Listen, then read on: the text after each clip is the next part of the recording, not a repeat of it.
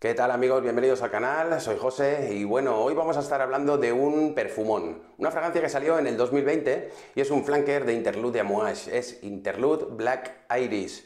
Es una fragancia que vale 300 euros la botella, los 100 ml. ¿Se puede conseguir en alguna oferta un poquito más económica? Sí, yo la podría conseguir por 200 euros a lo mejor. Pero eh, aún así, consiguiéndola a 200 euros me parece carísima. Una fragancia que yo personalmente no voy a utilizar o no utilizaría en muchas ocasiones. Eh, no es muy versátil, aunque esta Black Iris es más versátil que la Interlude normal, que huele a incienso que no se puede aguantar. Eh, es una fragancia que yo eh, no os recomiendo que compréis a ciegas, la Interlude normal. Esta tampoco, la Black Iris tampoco. No la compréis a ciegas si me hacéis caso a mí.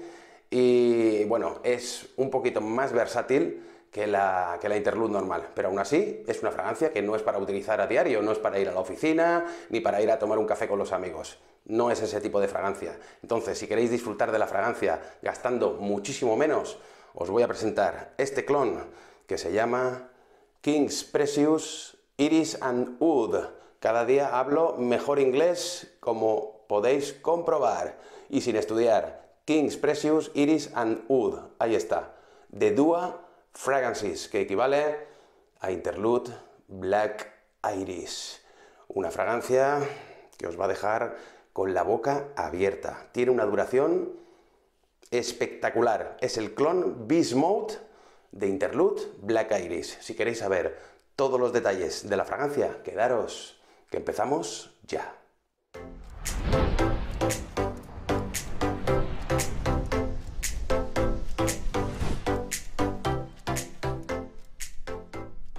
Bien amigos, pues vamos a empezar a hablar de esta fantástica fragancia, el clon de Dua Fragrances de Interlude Black Iris, que es el nuevo flanker de la Interlude Men normal, que salió el año pasado, en el 2020.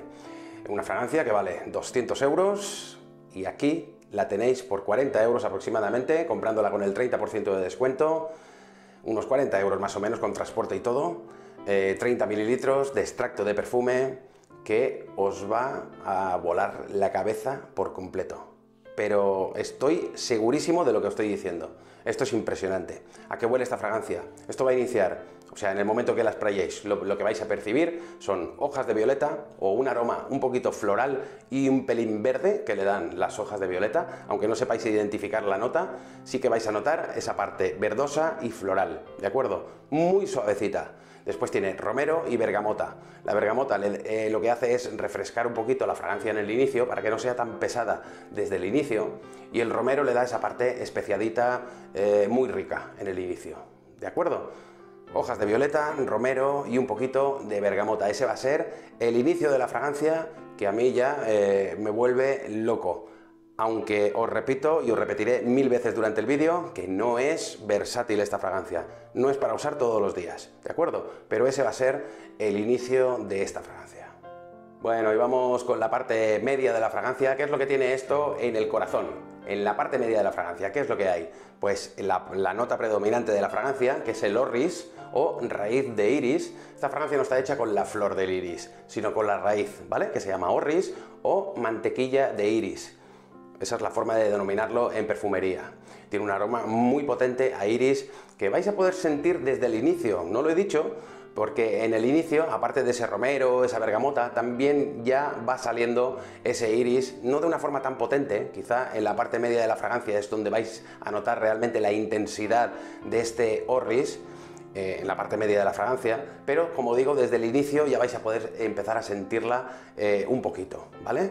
El Orris es muy potente aquí, pero es un Orris elegante y es un Orris versátil, llevadero. Es como la de Dior Parfum, un poquito mm, más rebajado diría yo, no es tan potente como en Dior Parfum, pero eh, sí que tiene sí que tiene, sí que se nota bastante ese, ese orris en el inicio y en la parte media sobre todo de la fragancia. Después tiene ámbar, un poquito de vainilla y el incienso. Pero el incienso aquí en esta fragancia, en Interlude Black Iris, eh, no es tan potente, no, se nota tanto como en la Interlude Men normal, que es una bomba de incienso que ya os he dicho que vamos, que no se van a poder acercar a vosotros a 10 metros. Es que es demasiado potente, en mi opinión, en cuanto al tema del incienso, la Interlude normal. Pues esta tiene ese incienso más rebajadito, pero bastante más, no se nota, no se nota vamos, ni, la cuarta parte, y eh, lo han sustituido por el iris, por el orris, por esta raíz del iris, ¿de acuerdo? Entonces tiene la raíz del iris, el incienso, un poquito de vainilla dulzona y el ámbar que también es dulce y hace una mezcla dulzona pero no empalagosa, sino que es para suavizar un poquito ese incienso y ese orris que hay en la parte media. Esas son las notas de corazón de la fragancia.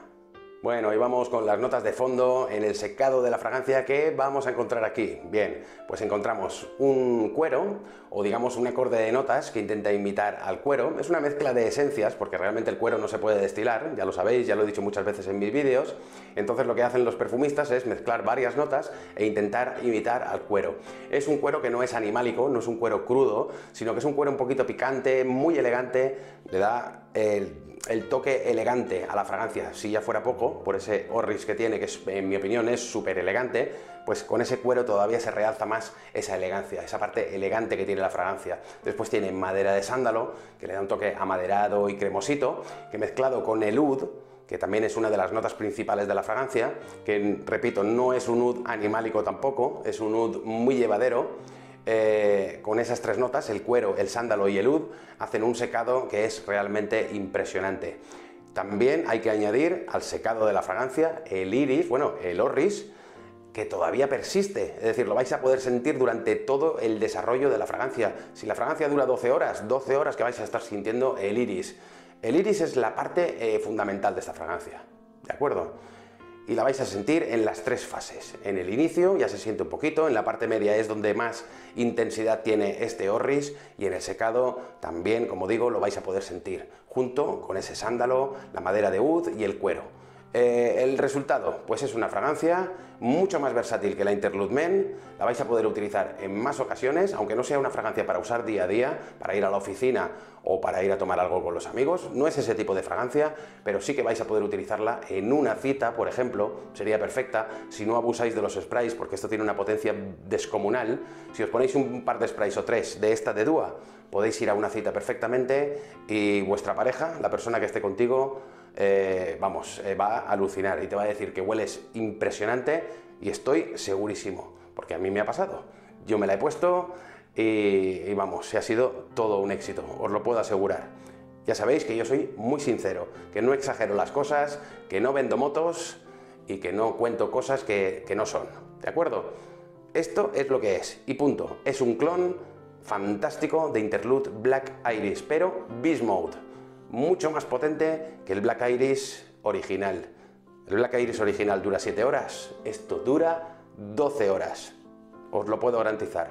12 horas o incluso más, sin poner muchos sprays. Por eso estos 30 mililitros os van a rendir como una botella de 100. Tres sprays son más que suficientes para estar perfumado un montón de horas. Te vas a ir a cenar, vas a ir a tomar una copa, te vas a ir a dormir y al día siguiente cuando te levantes todavía vas a seguir oliendo a esto. Imaginaros la potencia que tiene, con una proyección bestial de 4 horas, pero impresionante, y el resto del tiempo se va a quedar un poquito más pegado, como a un metro, que no es poco, pero ahí va a estar durante un montón de horas la fragancia. O sea, que imaginaros la potencia que tiene esto. ¿Para qué edades recomiendo yo esta fragancia? No es una fragancia juvenil, no es para niños de 18 ni de 20 años, la recomiendo a partir de los 30-35 años, es una fragancia un poquito más madura, para vestir muy bien, vestir bien y salir a cenar o salir a tomar algo en plan tranquilo a un sitio un poquito elegante, por ejemplo. Esa sería eh, la forma ideal de utilizar esta fragancia. Bien vestido, de noche, y, a un sitio elegante, como os he dicho. Bien amigos, pues ya sabemos todos los detalles de la fragancia, ¿no? Sabemos a qué huele, en qué ocasiones la podemos utilizar, eh, cuál es la edad que yo recomiendo para utilizarla, que ya he dicho que es para gente un poquito más mayor, ¿no? Más madura. Eh, sabemos que es una fragancia para invierno, que no lo había dicho, pero bueno, no hace falta decirlo, es una fragancia potente, eh, no es recomendable para usar en días cálidos o en días donde haga muchísimo calor. Es una fragancia para otoño e invierno, días fríos, nocturna más que diurna. Yo de día no me la pondría, por mucho frío que haga. Yo me la pondría por la noche, de hecho yo me la voy a poner y las veces que la he usado ha sido por la noche. Eh, y es una fragancia muy, muy elegante. Esta sí que es elegante, no la Interlude Men normal que huele a iglesia, huele a incienso hiperpotente. Mm, a mí no me gusta. Eh, vosotros probad las dos si tenéis la oportunidad y decidid cuál os gusta más. Pero yo desde luego, si probáis esta, eh, os va a encantar. El clon de Dua de Interlude Black Iris Kings, Precious, Iris and Oud.